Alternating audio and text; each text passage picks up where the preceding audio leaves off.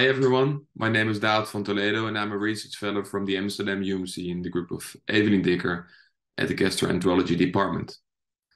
Thank you for showing your interest in our paper that has recently been published by Endoscopy and it's about appendix lesions in serrated polyposis patients.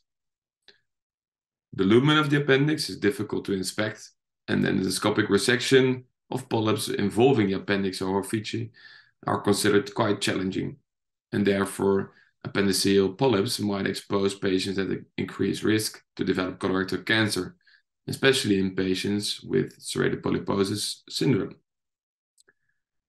In this paper, we aim to question this by evaluating the prevalence of advanced appendiceal lesions. And we did this in two ways. First, we revised surgically removed appendices, which is probably the most accurate way to estimate the prevalence of these lesions. And secondly, we re-evaluated pathology in colonoscopy reports for how frequently endoscopists detect advanced appendiceal lesions. Advanced lesions were defined as colorectal cancer, advanced adenomas, and advanced serrated polyps.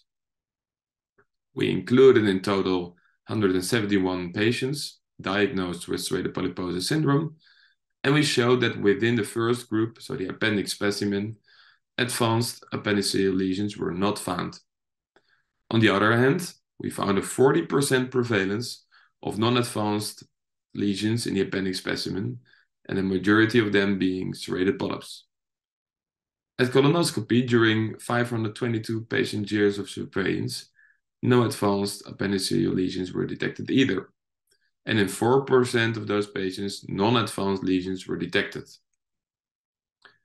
So the discrepancy between endoscopic detection rate of appendiceal lesions and the reported prevalence in surgically resected appendices suggests a substantial miss rate of appendiceal lesions during colonoscopy.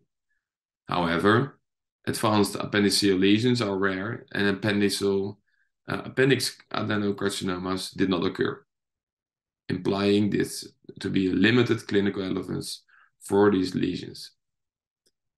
I'd like to thank Endoscopy for giving the opportunity for the publication and thank you for your attention.